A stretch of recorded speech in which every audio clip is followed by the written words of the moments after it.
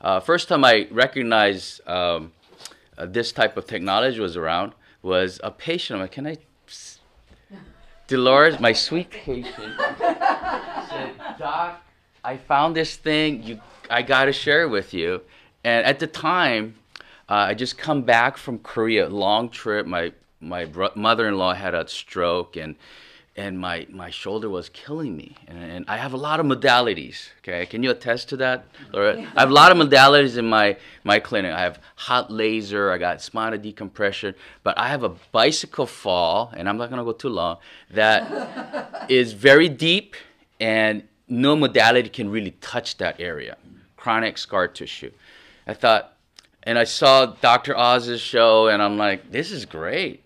So I said, well, you know what? I'm going to listen to Dolores here because she listens to me. So I, I, can't disappoint her and say I didn't go see Diane. And I so I called Diane right away, got some therapy on that shoulder, and you know, it's like it was it was like a miracle.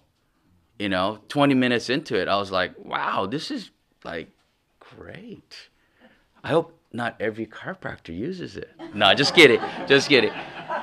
But you know, it, what it what it did was interest me to look deeper into this technology, and I didn't realize at the time there was there was research like double blind test research out there. So it's not just me saying it or Fred here saying it or Diane saying it. There's actual tests out there. There's more in Europe than here, unfortunately, but there's something to back it up and how it works, why it works. So that got me excited. And serendipitously, my understanding was it helps with autistic, ADD, ADHD kids. Anybody here knows or have personal relationship with special needs kids here? Okay, I get some hands.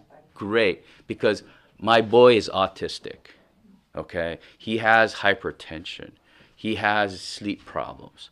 Okay, when I learned the system would be helpful to him, I use it on him right away.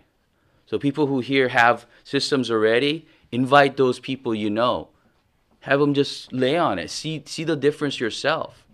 My boy has better night sleep when he does do this. Okay?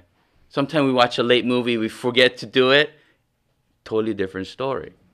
You know, it's not an addiction. He he just has, um, I don't know, electoral stuff that's not so normal like ours. So he needs a little extra balance. And that's what I know about the iMRS system. It balances the brain.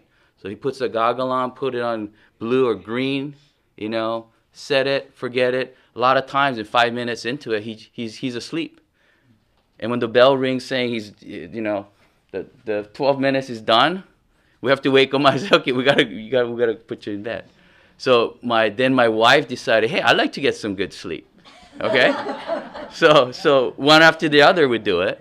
So, and I like to sleep well too. So I do it.